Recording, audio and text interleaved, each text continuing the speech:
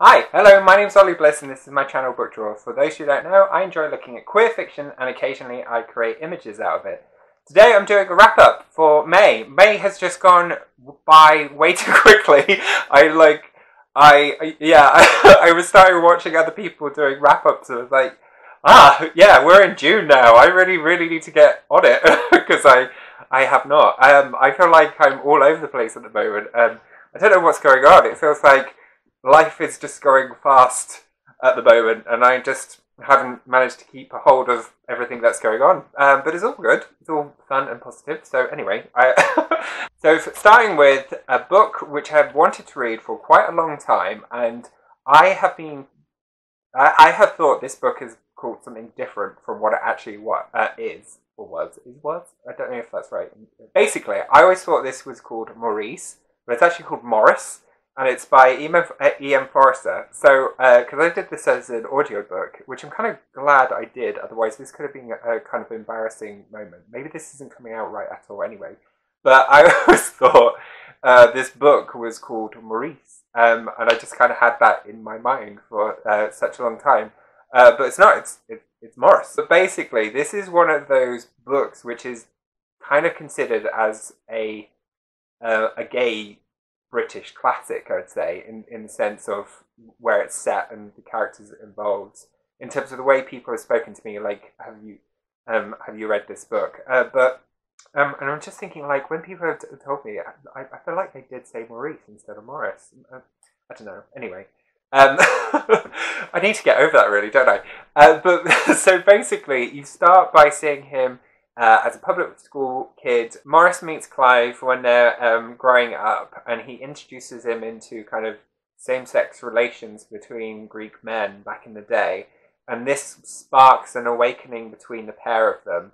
Um, however, over the course of their friendship and bond grows, they end up kind of separating and going different ways. Clive has more internalized shame than Morris potentially though he deals with a lot of shame within the book as well. Um, and Clive ends up going off and getting married, and the outcome of that um, has this impact on Morris, and it's about him trying to gain a sense of his identity and his morality in um, the confines of the, the, generation that they were a part of. Um, what I would say is really positive about this book is that it has a hopeful end, um, but I did also have a bit of distance from this book in terms of read books about kind of self-loathing and shame, and I'm kind of overreading those narratives, particularly with regards to gay men. Like I'm, I'm done with that narrative. Like I've, I've led that experience from when I was like uh, through uh, 12 to 16, where I had that awakening. It was a very brief time. I've been lucky enough uh, growing up in the time that I have being on the brink of the noughties where there was just a change which made it more open and easy to come out. I mean, I was surrounded by a lot of um, homophobia at that time, particularly where I was living, and it's partly the reason why I went to a college outside from my uh, local town because of that. Um, but I managed to get through it without the sense of self shame and self loathing. I never had that, even though I knew other people thought homosexuality was totally wrong. I actually liked the way I felt. I I knew it made me different, and part of that felt exotic in some way, but also I never felt like it was wrong. I never had internalized it in that way to make me feel I am wrong. I knew that people didn't like me because of the way I was thinking and feeling, but I didn't necessarily think that it was a fundamental flaw in who I was as a person. But in this book, there is that discussion, um, and what I liked about it, uh, particularly because of the, uh, when this book was actually produced, there is this kind of hopeful element to it towards the end. Anyway, um, the next book which I want to talk about is Ghost Wall, which is by Sarah Moss. This is actually my first Sarah Moss uh, novel which I've ever read she's one which has been like all over booktube and i think that's kind of the uh, part of the reason that has put me off it's like she's had a lot of hype around her but um, it's just because this one was available through BorrowBox through my library and i actually saw that it wasn't that long a read i thought why not Um, and actually really, really enjoyed the book. It's uh, it's kind of haunting in a lot of ways. Um, and it's a narrative which has actually stayed with me, even though it's such a slim read. Um, the impact of it is really quite powerful, and it has this kind of lingering sense on me. The main focus of the story is through the perspective of Sylvie and her relationship with her father Bill, who is a difficult father, um, who is an abusive character um, in different ways, and uh, it, the the focus of the book is around that relationship. But Bill's very interested in ancient Britain, and they go up to um, Northumbria um, to have this experience where they get to live in the kind of life and roles of that time. And it does explore gender roles within that period and that ha- how that has an impact on the way people perceive current day. And there's this other character who kind of questions and challenges some of that. But because Sylvie is in this kind of uh, enmeshed um, abusive relationship with it within her family, um, she's suddenly being uh, challenged to view their relationship w- with a different lens. Um, and it's it's really interesting to see how that builds and blossoms into something that's really really tense and um, gives it this really great sense of fear for like your life um, towards the end of it and it, it kind of feels like it almost sweeps the rug out from underneath you because you are there yearning for Sylvie to kind of stand up for herself, but you can kind of see how she's been put and conditioned into a role that she is trying to kind of break out from, but doesn't have the confidence to. Um, and um, it's just gripping, and it just gets more and more intense towards the end because there are these different things that are happening around uh, where they are placed that make you kind of just want to pick her up out of the situation and run away and take her to safety. Um, and I, I, think that was the thing that really surprised me with the book because I, I went into reading it with zero expectations um, and left it feeling like I'd been through a really traumatic experience. Certainly did a great job of being uh, a rich read, but I would kind of give warning that it's like it's an uncomfortable experience through it, um, uh, but just a very well put together piece of writing. The next story which I want to talk about is actually a memoir, um, which I read as a buddy read with the wonderful Julia. Um, and this is by Tara Westover. So this uh, is a book which I picked up over at Cheltenham Festival, um, Cheltenham Literature Festival last year um, and have only just really got around to uh, reading through it. But wow, uh, as a memoir, it, what makes this so much more impactful is knowing that it's true. Um, and it's really interesting. This is a person who grew up in a really rural, isolated um, place with uh, parents who are Mormons and um, uh, taught their kids at home.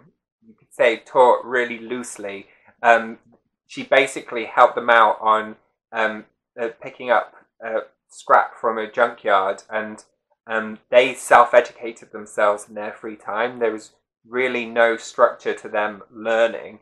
Uh, the mum was a kind of herbalist with um, home-based remedies. They didn't have access to doctors. They she wasn't actually like um, put into a school or anything. She taught herself how to do algebra, and she manages to pass the test in order to take her on to college. And her journey is just so powerful and terrifying. The number of times that the whole family should have potentially died because of the situations that they were in and the lack of um, the, like medical support that they had around them is horrifying. really is. Um, but somehow she manages to get herself a degree. She goes on to Cambridge and she uh, becomes a doctor and just learning all the different things that she's up against and how she manages to triumph through those things. She is the youngest of seven kids. Um, and it's really interesting in terms of looking at the dynamics of the family members in terms of how they actually kind of not necessarily endorse the behavior of um, one of these brothers, but how they are, uh, in a sense, complicit into some of the, um, the things that happen, and how she has to remove herself from that situation, and then what she does in, in terms of how she tries to go back and challenge it, and the impact of that struggle, and how that it has an impact on her entire family structure and her relationship and bond with them. It's all really messy. Um, but in terms of reading it and seeing all the things that she goes through, is really it just leaves you going like, wow, how how are you so together as a person? Because I've seen a couple of interviews with her afterwards, and you just kind of go, wow, well done you. You're you're amazing. Well, one of the reasons that I wrote the book is because of the gaslighting I experienced from my parents, their continual denial of things that were happening, like with my brother. And so I guess for me, I would say I love my parents. Um, I believe they're good people. But I think, the, I think the tragedy here isn't that bad people do bad things. I think the tragedy is what good people do to keep secrets. And what I liked about the, what she does within her writing is she has tried to um, fact check some of her things with her siblings and she calls out where she's not entirely gained consensus on the things that actually happened and she writes additional notes about those moments. So you get a sense of her really trying to give an authentic representation of her experience or of her lived life, or in terms of how she at least remembers it. And she acknowledges where there is difference in that. And I think, in terms of from a historic perspective and from an academic perspective, you can see all those influences on her. I think one of the biggest kind of themes within the book, in the title itself, Educated, is that education is transformational. I think she demonstrates that, like, through the process of knowledge, that can be turned into something that is truly powerful. And regardless of your circumstances and your actual uh, um, liberty that you have through that process of um, knowledge, you can break free from those things. It is really inspiring and hopeful in that sense, but it's also beneath it something that is really, really menacing and uh, just quite dark, really. Um, but it's a very challenging read, but uh, uh, but also a, a read which you kind of feel positive about by the end of it. Um, but you also kind of just go, are you okay? Like, are you actually okay now in your life? Um, so yeah, it was just a really cool book. I mean, cool is probably the wrong word, but really interesting read and just um, made you kind of feeling left going, whoa, like what has happened to you and how did you come out so resilient afterwards? You just have mad kudos to her. It's just like, yeah, Bloody hell. Finally, I want to talk about Flow. Flow is a really brilliant kind of self help um, or reflective um, book. It's uh, created by a psychologist. I will add his name because I'm not entirely sure how to say his name, even though I have heard it a couple of times and I will butcher it. But this is a brilliant short read, um, and I did it on Audible. Um, and uh, uh, I think this is like an exclusive version where they actually have case studies and they've got different actors doing the narratives from those bits, but also he's reading and talking through his, ideas. Um, and that was a really interesting way to gain this kind of insight to where he was coming from, and you get a sense of his emotion behind um, the things that he has learned through this process of learning and um, monitoring and measuring um, what he's gained from it. But flow is basically about how you maximize your productivity in life.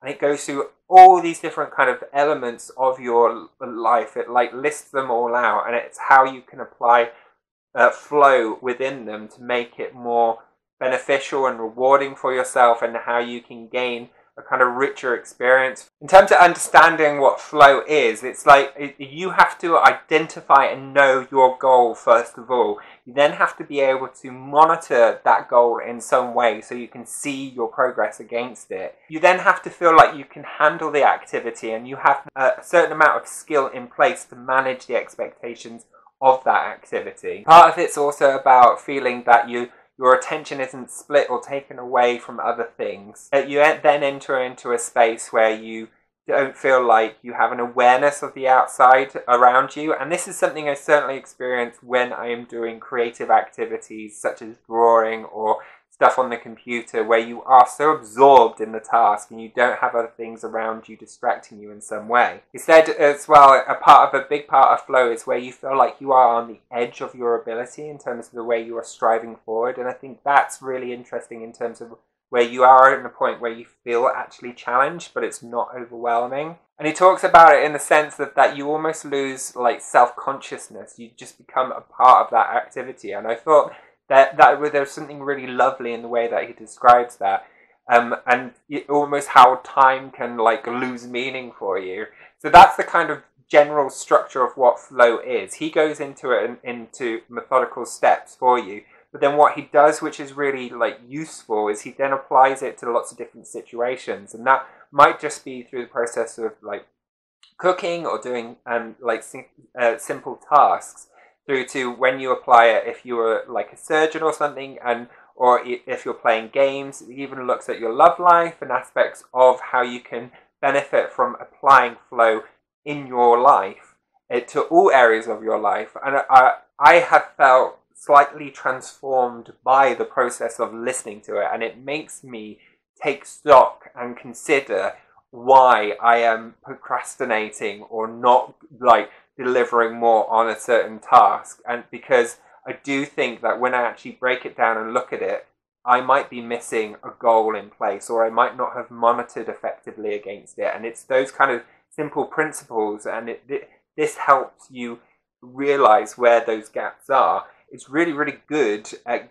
providing some structure in yourself. So if, if you're the type of person who wants to gain self-improvement in some way, um, I would really recommend this book. It's because it's it's quite quick as a read, but it's one of those reads that you might want to go back to, or you might want to make some simple like flashcards for yourself, just to kind of remind yourself of the principles. But I would genuinely say you do kind of need to listen through the entirety of the, the book to gain full understanding of what it's proposing to you and how you actually apply it to yourself. But yeah, I, I really did this book. I thought it was great. Anyway, that's enough from me. I have gone way over on my wrap up again. Let me know if you've read any of these. Tell me how your reading month has been. Um, if any of these interest you in some way or uh, you have gained different insights, let me know. I'd love to have uh, continue the conversations down in the comments below. Um, otherwise, I will just see you all again real soon. Okay, take care. Bye.